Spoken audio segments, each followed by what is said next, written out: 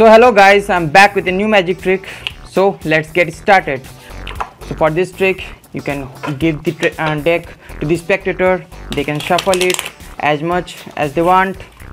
Then what we'll do is we'll keep out make these out these two jokers.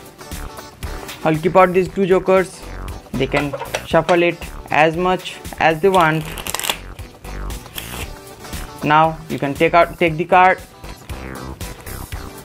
and then they can pick any card of their choice. Let's say they select this one. So this will be their selection which is in case is five of diamonds. So five of diamonds is their card. I will place it somewhere in the middle. Now it's gone somewhere in the middle. I will give it few cuts so that it gets completely mixed up. So now it's completely mixed up. I will give few shuffles. And actually i'm gonna give riffle shuffle so that it it becomes completely mixed up. Okay.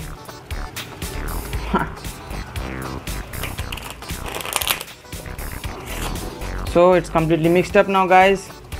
You can give as much cuts as you want.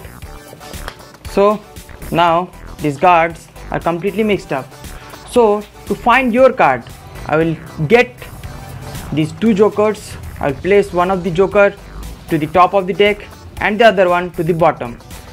I will leave the bottom one outjogged so that you can see that the, these two jokers are actually doing the trick. So these two jokers are now gonna catch your card. So on the count of three these two jokers will be catching your card. So one two and three. You can see that in between these two jokers there is one card and it must be your card. So guys for doing this trick i used these two jokers. You can take any card but i prefer the joker ones. First of all you can uh, you can give this uh, deck to the spectator so that they can shuffle it. They will so that they will be satisfied. Then what you will do you will let them select any card. So this will be their selection which is the four of diamonds you'll place the four of diamonds in uh, somewhere in the middle of the deck and in the interim you will catch a pinky break okay? And you will uh, leave the remaining cards to, uh, to the top of that card.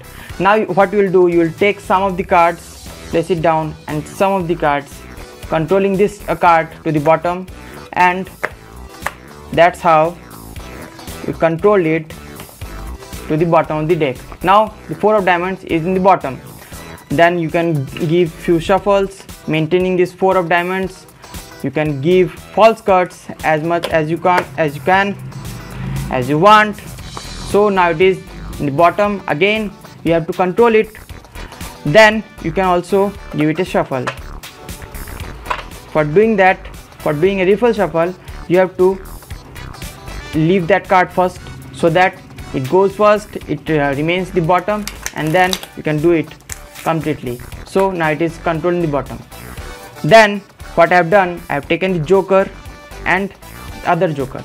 So there is a reason guys to keep this uh, joker out the bottom one so that you can uh, grab this four of diamonds with your two fingers like this and so that when you will uh, you will throw the whole deck uh, to the other hand you can slip out this bottom uh, bottom card. So that's how it's done.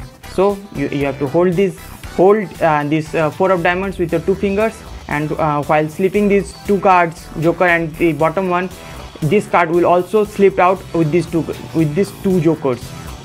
Like this you know?